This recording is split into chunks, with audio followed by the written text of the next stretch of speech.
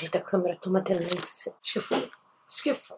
E aí, galera, tudo bem com vocês? Sim, estou começando o vídeo de toalha. Mas antes de explicar, fora de buzinar, ah, ou me atrapalhando, vamos todos juntos, classe, falar: Oi, obra, tudo bem? Né? Porque a gente já sabe que ela pode não estar agora aqui, mas ela daqui a pouco começa, né? Porque tem uma intimidade aqui no canal, eu e a obra. Agora que a gente já foi educado com a nossa querida amiga obra, vamos lá. Primeiro, deixa eu explicar por que, que eu tô de toalha, né? Tô de toalha porque eu acabei de sair do banho. E como vocês viram pelo título, eu vim fazer um vídeo de cuidados com a pele. E eu tive a ideia de fazer junto com vocês, para vocês poderem né, ter uma ideia do que, que eu faço exatamente na minha pele. Já deixo de antemão que eu não faço coisa pra caramba, que é uma rotina de pele super realista, uma coisa super fácil, porque não vou ficar aqui passando um monte de produto para vocês, ó, e que eu mesma não uso, sabe? Não vou ficar inventando coisa que eu não faço só pra, entendeu? Tipo, parecer que eu sou uma exime cuidadora da minha própria pele. Então, gente, sem blá blá blá, sem mais delongas. Vocês querem saber o que eu faço nessa minha pele e fazer junto comigo? Vem comigo.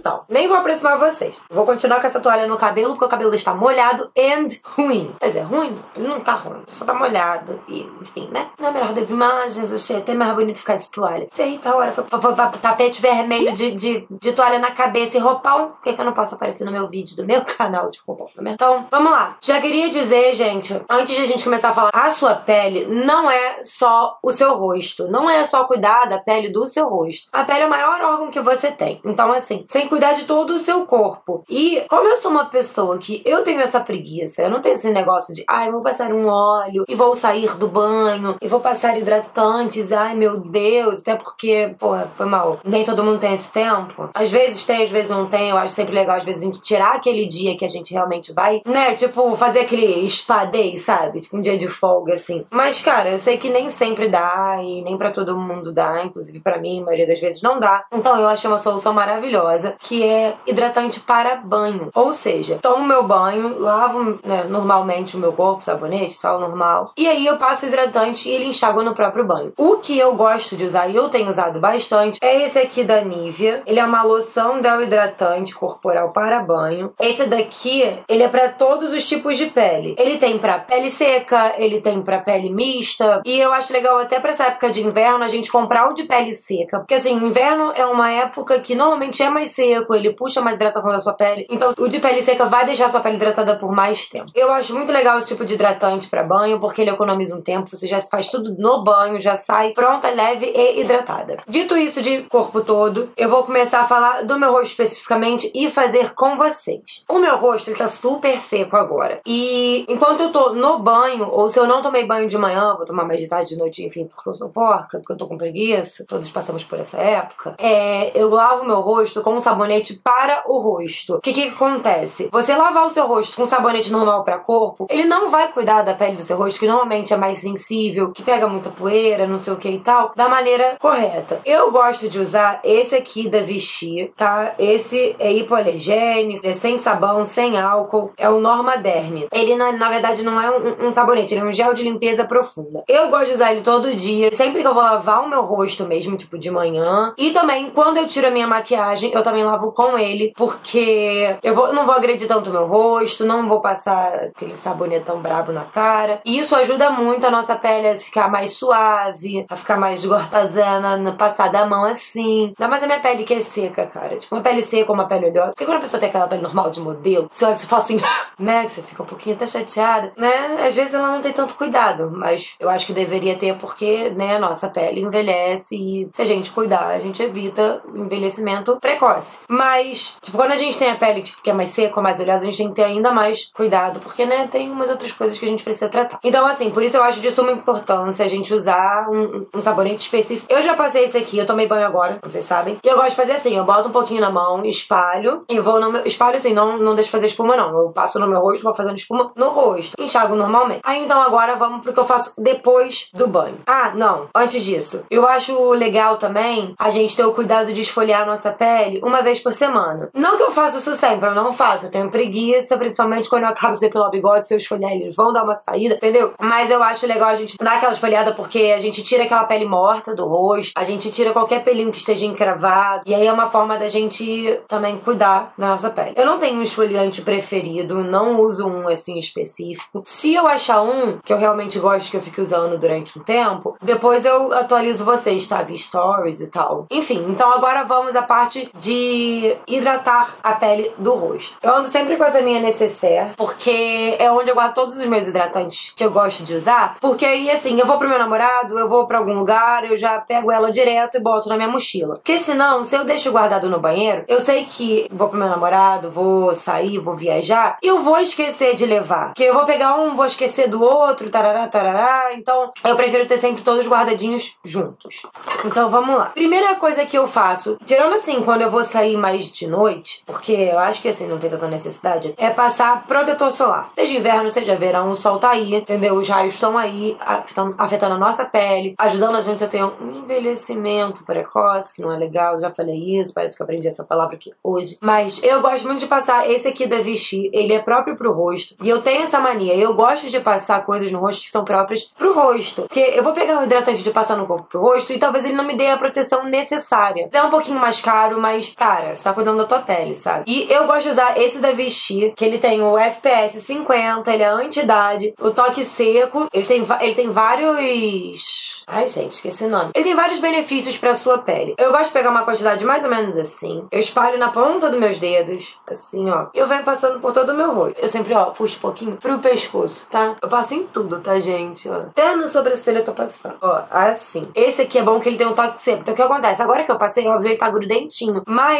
daqui a pouquinho ele vai secando, você nem sente ele no seu rosto, ele é super levinho. E eu acho legal a gente sempre procurar um assim, principalmente se a gente for passar maquiagem, porque senão incomoda mesmo. E aí, gente, de hidratante, eu normalmente, quando eu vou fazer maquiagem, eu passo dois específicos. E quando eu tiro a maquiagem, um deles é o mesmo e depois. Vou explicar. Vou explicar que já ficou confuso, né? Então, quando eu passo maquiagem, tem hidratante que eu sempre, sempre, sempre passo, que eu gosto muito, que é esse daqui, que é o da Nivea, o Nivea Soft. Eu gosto muito dele porque ele realmente hidrata, mas ele não fica pesado na pele. Ele é, ele é suave mesmo. Eu sempre pego o que já tá aqui na tampinha assim, ó. Eu gosto de pegar bastante, porque quando eu vou me maquiar, eu passo muito produto. Então, o que que acontece? Se eu não hidratar bastante a minha pele, ele, ela craquela toda. Então, ó, eu pego bastante assim. Já veio aqui na minha mão. Eu vou esfregar aqui, ó, em toda a minha mão e vou passar por todo o meu rosto. Se você for passar no rosto de uma cliente. Ah, outra coisa, espera o seu, o seu protetor secar, porque senão você vai fazer uma papa gigante, tá? Agora, uma coisa que eu tava falando. Se você for passar no rosto da sua cliente, querida, amada, não passa assim com mãozão, não. Vai numa esponjinha, tá? É, enfim, eu passo bastante, eu deixo minha pele ficar molhada mesmo de hidratante, sabe? Às vezes eu passo até mais, mas eu não passo na área dos meus olhos, tá? Agora, uma coisa, gente. Se seus poros entopem com facilidade, se você tem esse medo, escolhe um hidratante em gel, porque ele é mais leve, tá? Eu gosto muito desse da Neutrogena. Esse é o Hydra Boost, tá? Ele é, diz aqui que é water gel, é isso? Water gel, ou seja, é um gel tipo a base de água, eu acredito. Ele tem ácido hialurônico, que é um, um componente que hidrata bastante a pele. Mas eu gosto de passar ele quando eu não vou passar maquiagem, porque ele é mais leve que o da Nivea. E, como eu já falei, eu passo muito produto, eu prefiro um hidratante mais pá. Agora, uma coisa. Essas áreas que craquelam mais, tipo, bigode chinês, essa linhazinha aqui do queixo minha craquela direto, a minha área da testa aqui, ó, é toda cagada, tá precisando de um botox ali. Quando eu vou passar maquiagem, que é o meu caso agora, que eu vou gravar um vídeo daqui a 3 minutos,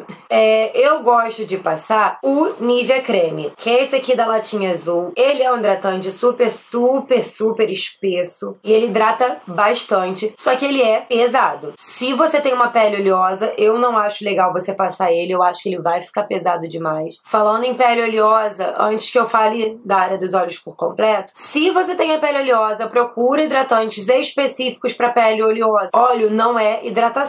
Se você passar um monte de coisa seca, base mate, pó, um monte de coisa na tua cara, sem, tá, sem hidratar a sua pele antes, o óleo vai vir, ó, pá, mais ainda. A sua pele vai sentir que ela precisa produzir mais. Ou seja, não vai, não vai dar certo. Procura um hidratante para sua pele, se ela for seca para pele seca, se ela for oleosa para pele oleosa, se ela for mista para pele mista, porque a sua pele precisa do cuidado específico. Então vamos lá. Como eu vou me maquiar, eu vou passar esse aqui. Mas gente, eu gosto de dar um cuidado especial para minha área dos olhos, principalmente, quando eu vou vou dormir ou quando eu vou passar só o dia, tipo, com hidratante no rosto e tal. Eu gosto bastante de passar esse aqui da Vestir. Ele é pra contorno dos olhos e da boca. Então você pode passar ele nos dois. Eu foco sempre no olho. Eu acho legal que ele tem esse negocinho e normalmente ele é geladinho. Aí você consegue massagear, principalmente se você tiver com bolsa nos olhos. Acabou de acordar, você quer fazer alguma coisa, você consegue dar uma massageada com o próprio creme. Mas quando eu vou me maquiar, como eu já disse, eu preciso de uma coisa mais pesada. Então eu venho aqui, meu hidratante, eu pego com o dedo mesmo. Não é legal pegar com o dedo. É legal você tentar pegar com a espátula, com uma esponjinha e tal. Porque senão você acaba inserindo bactérias da sua mão e tal, no seu hidratante, alterando algumas coisas e, enfim. É mais legal que você use uma espátula. É mais higiênico também. É, eu pego uma quantidade mais ou menos assim. E aí eu vou dividindo, gente. Primeiro, eu vou dar uma batidinha aqui no meu bigode chinês. Eu gosto de fazer aqui, ó, na lateral do meu nariz também, porque é uma área seca. E se eu não cuidar, minha base sai muito rápido. Na minha testa, que a minha testa, ela sempre vai craquelar, não importa. Eu preciso de um botox e não só de hidratação. Mas é bom sempre a gente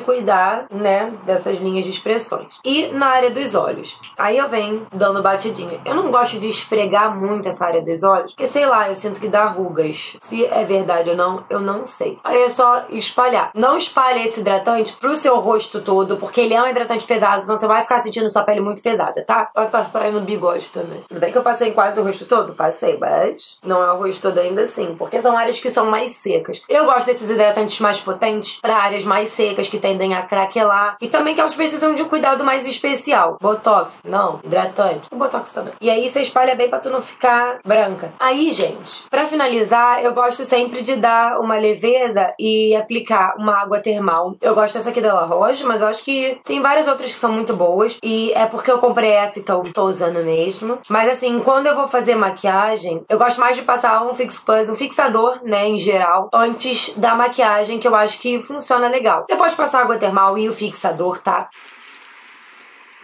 Pronto. Eu deixo ele aqui secando. Enquanto ele seca, a gente vai terminando de falar nesse vídeo. Esses são todos os produtinhos que eu uso. Claro que eu tô mostrando o que eu gosto de usar. Mas você tem total de...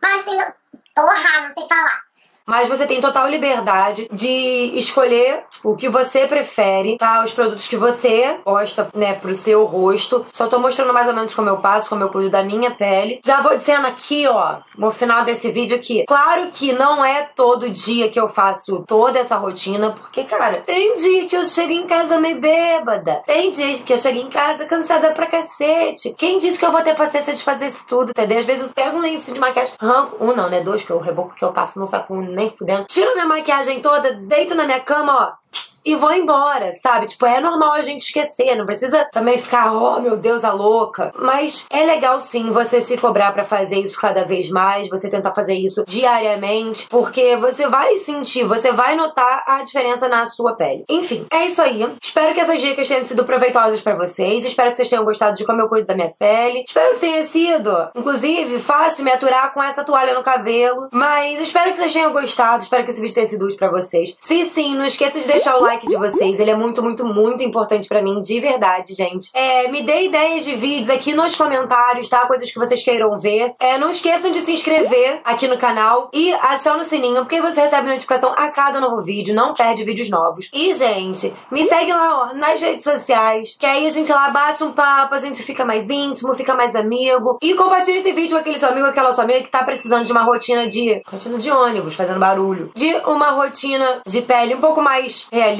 eu sei que tem bastante produto ainda, que eu uso bastante coisa, mas também acho que não é nada assim exorbitante. Então compartilhe com aquele seu amigo que você sabe que vai gostar dessas dicas, tá bom? E também porque vai me ajudar, porque você gosta de mim, sei lá por favor. Espero que vocês tenham gostado desse vídeo, porque eu amei fazer. Apesar de talvez eu todo com esta cara limpa e não poder fazer aqueles cruz maravilhosos, cheios de maquiagem. Tudo bem, que as cruzes é gostante. Mas é isso. Um beijo e até a próxima.